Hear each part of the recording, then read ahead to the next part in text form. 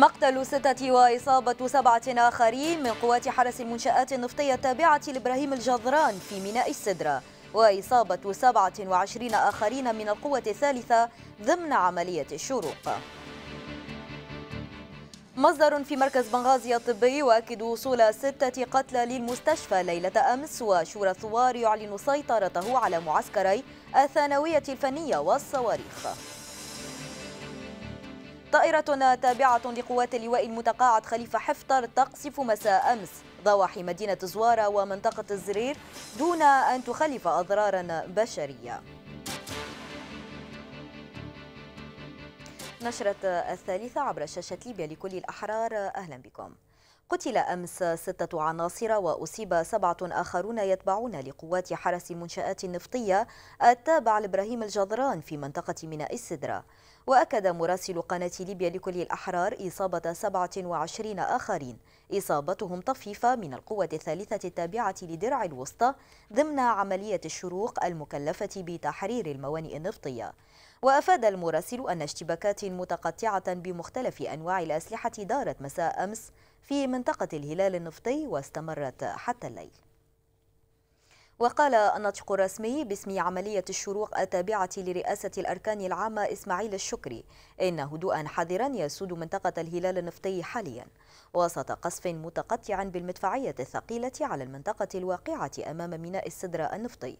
ونفى الشكري وقوع خسائر بشرية في صفوف القوات التابعة لعملية الشروق خلال اليومين الماضيين. استهدف مجهولون في الساعات الأولى من صباح اليوم محلا لبيع العطور يعود لأحد المواطنين في مدينة جدابية بحقيبة تحوي مواد متفجرة. وقال مراسل قناة ليبيا لكل الأحرار في جدابية إن الحريق لم يسفر عن إصابات بشرية لكنه أدى إلى احتراق المحل بالكامل. وقد قامت قوة الدفاع المدني بالمدينة باحتواء الحريق ومنع انتشاره إلى المباني المجاورة. أمر القائد الأعلى للجيش الليبي نور بوسهمين المدعي العام العسكري بمباشرة التحقيق في واقعة مقتل 14 جنديا أثناء قيامهم بحراسة محطة الكهرباء الغازية بسرت وإظهار الحقيقة والقبض على الجنات وتقديمهم للمحاكمة. في السياق ذاته نعى المجلس الأعلى للدفاع بحكومة الإنقاذ الوطني ورئاسة الأركان العامة الجنود الذين قتلوا على أيدي مسلحين مجهولين في سرت أثناء تأدية واجبهم بحراسة محطة الخليج البخارية لتوليد الكهرباء غرب المدينة.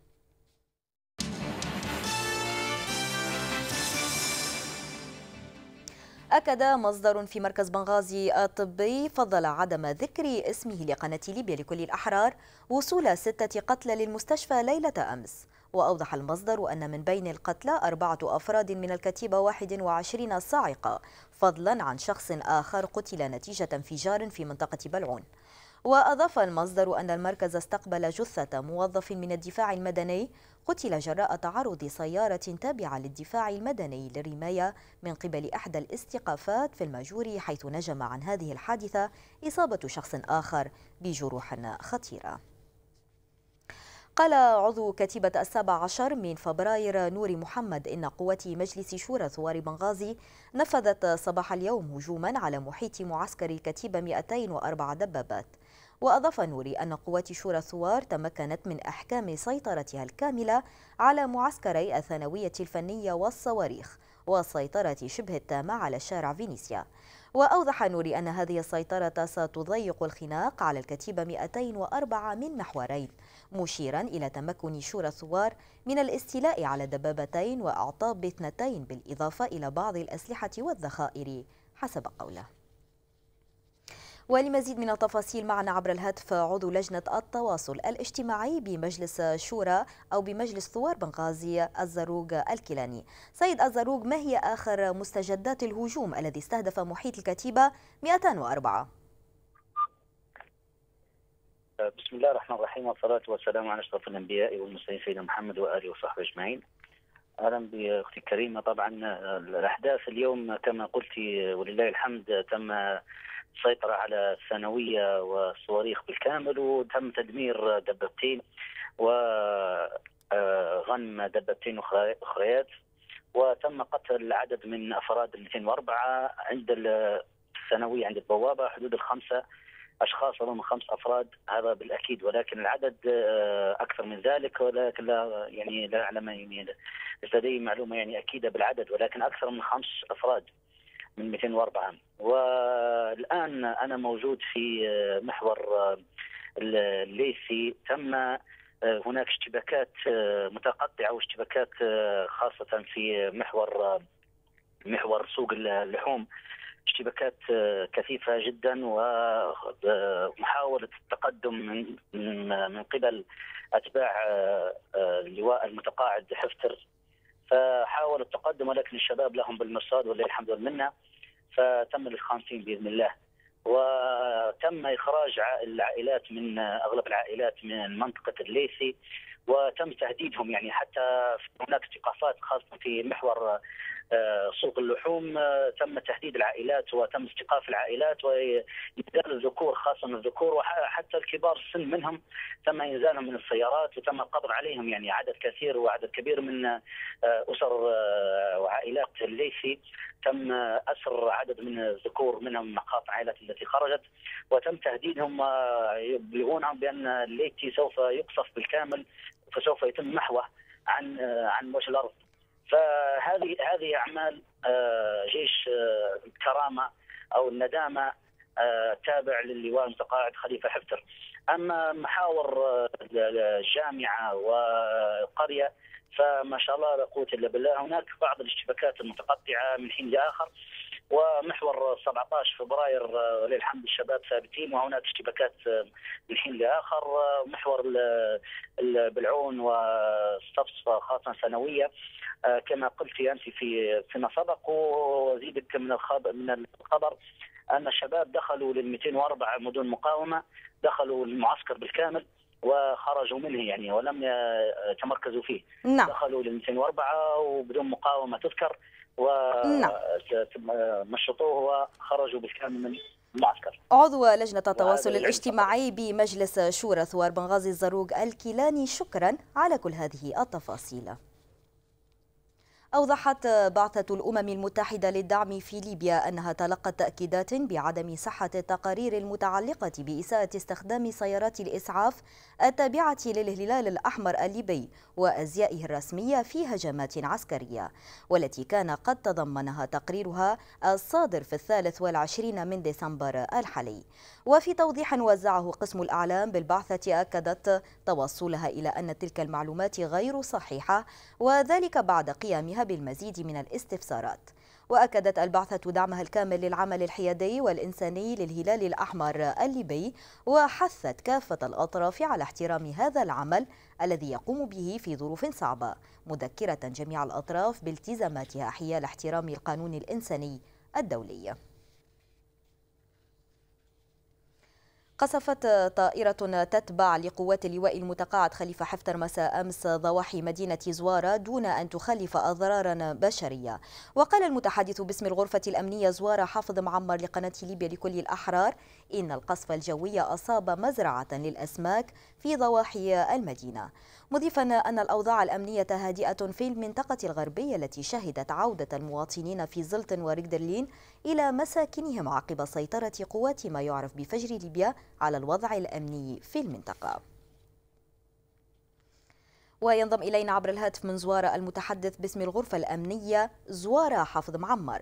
سيد معمر ضعنا في صورة ما حدث من قصف جوي على ضواحي زوارة. نعم تحية لك وتحية لمشاهدي قناة ليبيا كل أحرار نعم أمس قصفت الطائرة التابعة لما يسب لواء متقاعد حفتر مدينة ضواحي مدينة زوارة وبالتحديد في منطقة تسمى غابة بكشفة منطقة على شاطئ البحر وتوجد بها مقر لمزرعة الأسماك آه، ولكن إحدى قضايا تفجرت والثانية لم تنفجر وكانت الأضرار مادية بسيطة جدا ولا توجد هناك أضرار بشرية والحمد لله. نعم وكيف هو الوضع الأمني الآن في زواره والطريق المؤدي إلى راس جدير غربا وطرابلس شرقا؟ لما الطريق آمن والأمور تسير من حسن إلى أحسن الحمد لله. اعتبر من طرابلس إلى إلى راشدير منطقة آمنة وتحت سيطرة قوات فجر ليبيا. والمنفذ منفذ راشدير مفتوح حاليا من وإلى تونس من الجهتين من الجانب الليبي ومن الجانب التونسي. والحركة تسير طبيعي جدا وطريق آمنة. وكل المناطق التي كانت فيها بعض الإشكاليات وبعض المشاكل تم تحريرها وتم بسط سيطره قوات فجر ليبيا بالتنسيق مع العديد من الجهات ومنها من من أهالي هذه المناطق والآن عودة الأهالي لمناطقهم والأمور طبيعية جدا ولم يبقى في هذه المنطقة الغربية إلا منطقة إلى قاعدة لوطيا وكل المحاور الآن جاهزة لهذا العمل بإذن الله. نعم المتحدث باسم الغرفة الأمنية زوارة حافظ معمر شكرا على هذه التفاصيل. كما قصفت طائرات حربية تابعة للواء المتقاعد خليفة حفتر مناطق تحت سيطرة القوات التابعة لما يعرف بفجر ليبيا دون وقوع خسائر بشرية أو مادية. وقال الناطق باسم القوة الوطنية المتحركة صبحي جمعة إن القصف استهدف مساء أمس منطقة في الزرير. من جهة ثانية قال جمعة إن الوضع في محاور المنطقة الغربية يشهد هدوءا حذرا بعد اشتباكات بالأسلحة الثقيلة يوم أمس. قال العقيد في القوات التابعة لما يعرف بفجر ليبيا في محور قاعدة الوطية الجوية طاهر الغرابي إن الوضع في القاعدة هادئ نسبيا بعد الاشتباكات التي جرت يوم أمس بالسلاح الثقيل. وأضاف الغراب لأن القوات التابعة لما يعرف بفجر ليبيا تمكنت من أحكام حصارها على القاعدة من الجهتين الشمالية والغربية مشيرا إلى أن أغلب مناطق القاعدة يقع حاليا تحت مرمى المدفعية التابعة لهم. وللتعليق ينضم إلينا عبر الهاتف من طرابلس المحلل السياسي صلاح البكوش سيد البكوش فيما يخص منطقة الهلال النفطي هل يعني استمرار القتال إقفال باب الوساطات وأن الأطراف لا ترى أي حل غير الخيار العسكري؟ بالطبع هذه الوساطات إذا تذكرين كانت منذ سنة 2013 ولم يحدث شيء ولا زال لا زالت عصابة جدران مسيطرة على تلك المنطقة تحت اسم حرس المنشآت النفطية. وأعتقد مشاهديكم يعرفون بأن هذه الفزورة لم تحل بعد. رئيس حرس المنشآت النفطية هو نفسه مؤسس لحكومة برقة فهو موظف في الحكومة الليبية. في حرس المنشآت. وفي نفس الوقت هو رئيس لحكومة أخرى يسميها حكومة برقة. فتلك الوساطات لم تنجح قط لأن لم يكن هناك خيار عسكري والآن هناك خيار عسكري. وأعتقد أن حسم المعركة في منطقة فدرة والإله النفطي سيكون قريبا. نعم وماذا عن بنغازي سيد البكوش في ظل الجمود العسكري منذ مدة تقريبا في هذه المنطقة هل ترون من دلالة لهذه التطورات العسكرية؟ أعتقد أن الجمود العسكري بدأ يتغير وأن الثوار الآن يأخذون زمام المبادرة وهذا أعتقد أنه نتيجة لوقوع حفتر وقواته وحلفائه في الغرب بما يسمى بجيش القبائل في معضلة كبيرة والآن آه لم يستطع تنفيذ وعوده بالسيطرة على بنغازي وتبين بأن الكلام عن سيطرة 90% و80% في بنغازي لم يكن آه آه كلاما صحيحا. وسمعتم بالأمس كان هناك هجوم على القاعدة الجوية في لابرق واندحار حلفائه جيش القبائل في الغرب وانكسار محاولاتهم الاستراتيجية للسيطرة على ميناء ومطار زوارة. ولذلك الآن نشهد تغيرا في في موازين المعركة والثوار في بنغازي يأخذون زمام المبادرة. وأعتقد أن الثوار في درنا صامدون هناك ولا يستطيع أن يقوم باي شيء الآن. طيب بحديثك عن يعني زوارة وعن هذه الاشتباكات يعني غارات جديدة للقوات أو لقوات ما يعرف بعملية الكرامة على المنطقة الغربية، كيف تقيمون تأثيرات أو تأثير استراتيجية الغارات هذا في مسار المعارك؟ شوفي أنا لست بمحلل عسكري ولكن حديثي مع المحللين العسكريين ومنهم الاستاذ محمد النعاس وآخرين وملاحظاتنا لما يحدث الآن في العراق ترين القوات الأمريكية والبريطانية والفرنسية وقوات أخرى من تحالف كبير تقصف في جبل سنجار وتقصف في كوباني ولم تستطع تحقيق شيء إلى أن تدخلت قوات البشمركه القادمة من كردستان العراق عن طريق الحدود التركية ودخلت لتسيطر على الأرض. الآن حفتر ليست لديه قوات. هناك الكثير من الضباط الذين يحلمون بأن يكونون محافظين وأن يكونون يتلقون مناصب كبيرة وليست لديه أي قوات على الأرض. ولذلك فإن استراتيجية هذا القصف العشوائي بطائرة هنا وطائرة هناك سوف لن تؤدي إلى شيء كما رأينا الآن أنه يقصف بنغازي ويقصف المناطق المحيطة بدرنا ويقصف الهلال النفطي ويقصف المنطقة الغربية ولم تتحرك خطوطه إلى الأمام. نعم طيب يعني سيد البكوش هل يلوح في الأفق أي هدوء قريب في ظل تزايد معاناة السكان وما يبدو من عدم قدرة أي من طرفي القتال على الحسم؟ الهدوء أعتقد أنه سيكون قادما ربما في الأسابيع القادمة بعد أن يتضح لمن هم مع حفتر وجيش القبائل أن الأمر محسوم وأن ليس لديهم أي أمل في الانتصار أو تحقيق أي تقدم ستهدى الجبهات وربما وربما سيكون الحوار القادم أو المرتقب سيتحدث عن هذه الأمور وتحدث هناك ربما تهدئة إذا توصل المتحاورون إلى اتفاق. نعم الناشط السياسي صلاح البكوش شكرا على هذه المداخلة.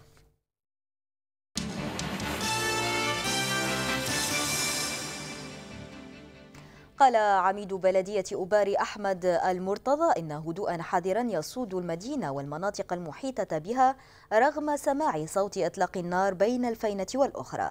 وأكد المرتضى لقناة ليبيا لكل الأحرار أن الحياة مشلولة داخل المدينة وأنها شبه خالية بعد عمليات نزوح الكبيرة وتعاني من استمرار انقطاع الكهرباء وتعطل معظم الخدمات.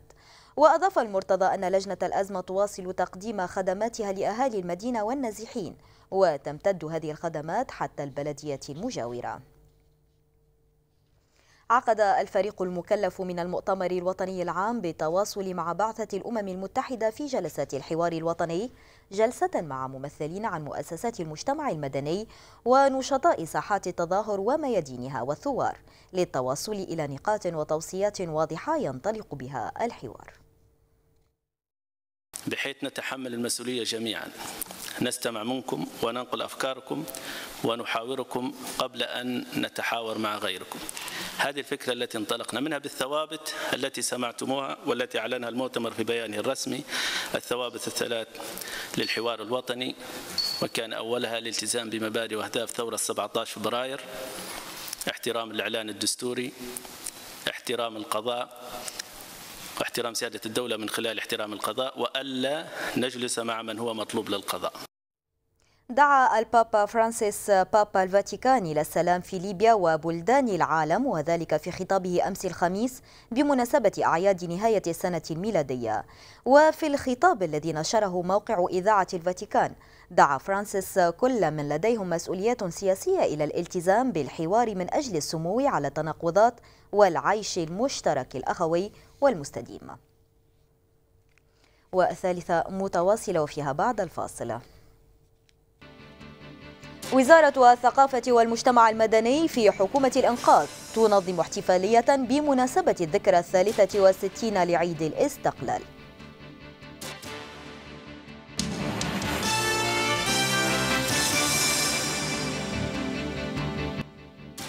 مقتل ستة وإصابة سبعة آخرين من قوات حرس المنشآت النفطية التابعة لإبراهيم الجذران في ميناء السدرة وإصابة 27 آخرين من القوة الثالثة ضمن عملية الشروق.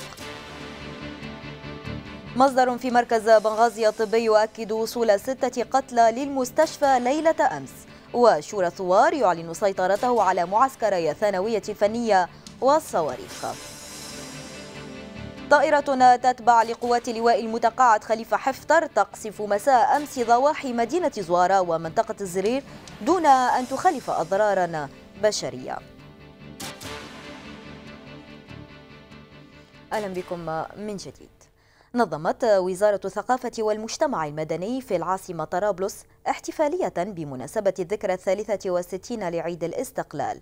واحتوى برنامج الاحتفالية على العديد من الأنشطة الفنية التي قدمتها طلبة مدارس أو قدمها طلبة مدارس طرابلس حيث تنوعت النشاطات بين اللوحات الاستعراضية والعروض الموسيقية. كما تضمن الحفل معرضا للخط العربي ورسوم الأطفال وعرضا لأكثر من 60 عنوانا من إصدارات المراكز الثقافية إضافة إلى عرض قدمه الطلاب لأوبرا غنائي بعنوان صحوة وطن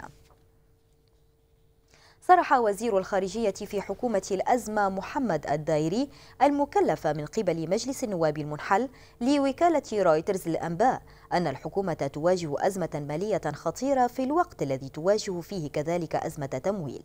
وقال الدايري لرويترز قد يمكننا الحصول على قروض وهذا ما قد نسعى إلى تحقيقه في الأيام والأسابيع القادمة.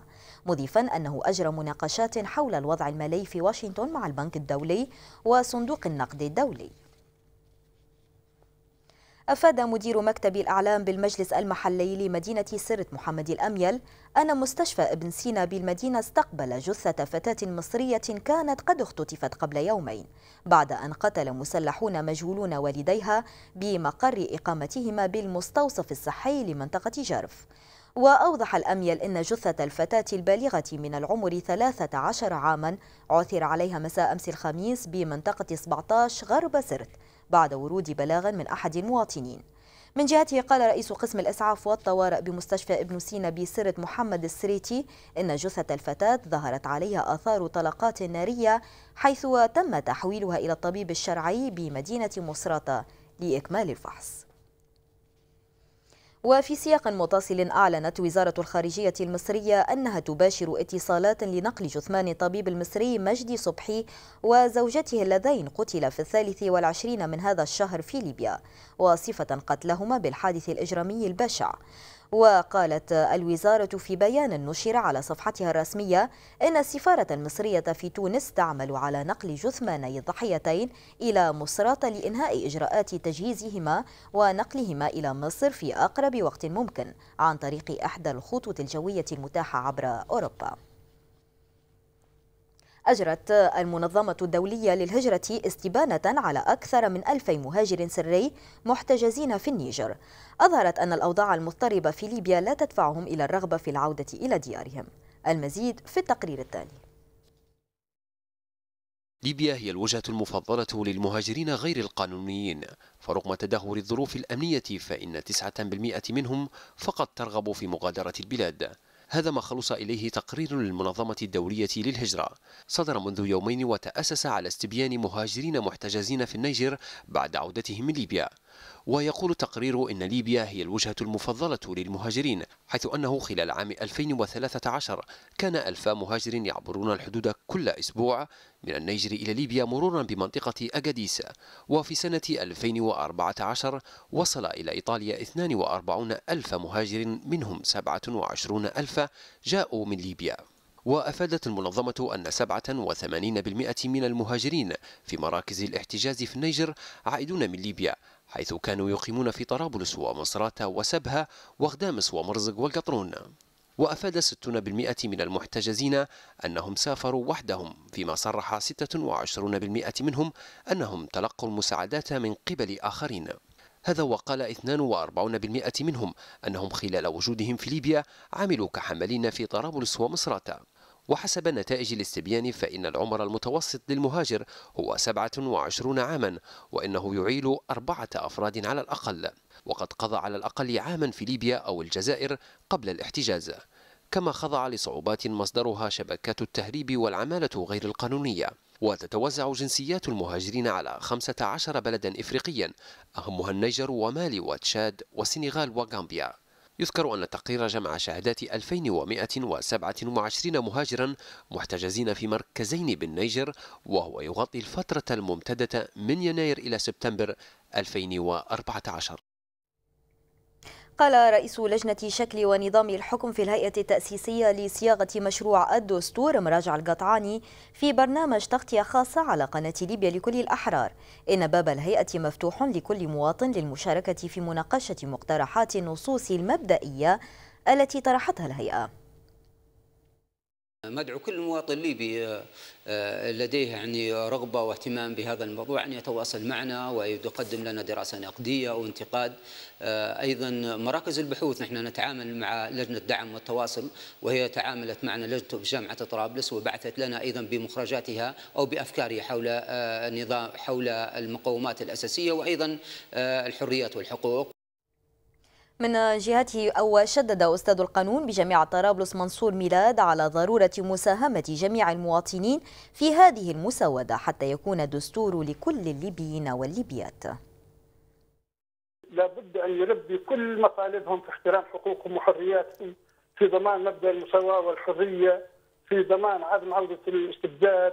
هذه هي الأساسيات وأهمها ضمان المساواة. والآن مشاهدينا إلى جديد الصفحة الرياضية.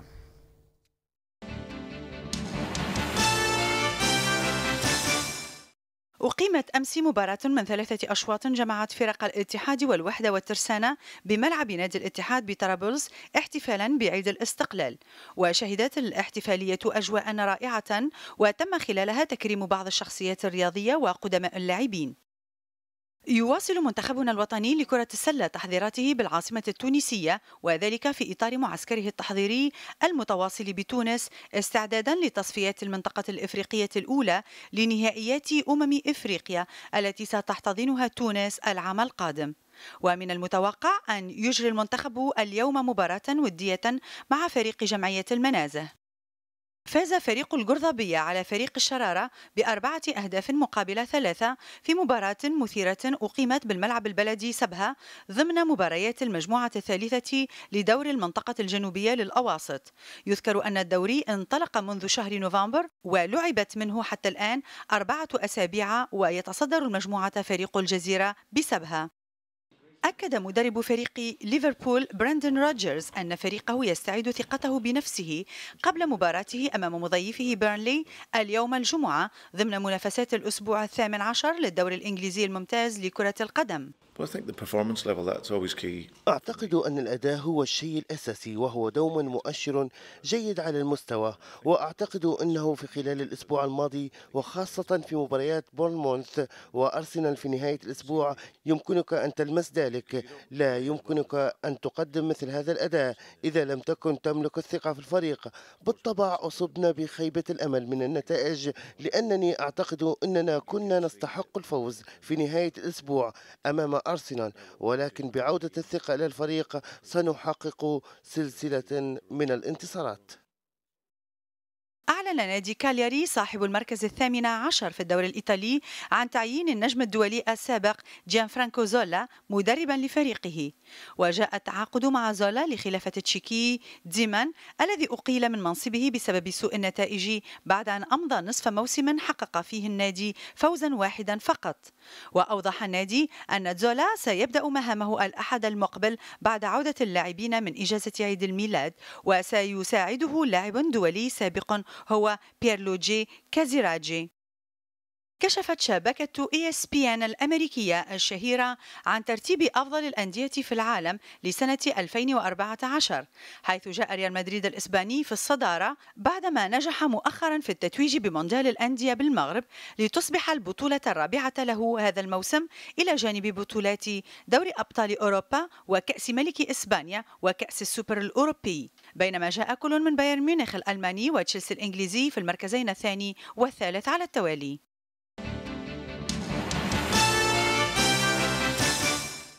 وإلى التذكير بأهم العناوين. مقتل ستة وإصابة سبعة آخرين من قوات حرس المنشآت النفطية التابعة لإبراهيم الجدران في ميناء السدرة. وإصابة 27 آخرين من القوة الثالثة ضمن عملية الشروق. مصدر في مركز بنغازي الطبي يؤكد وصول ستة قتلى للمستشفى ليلة أمس. وشورى الثوار يعلن سيطرته على معسكري الثانوية الفنية والصواريخ.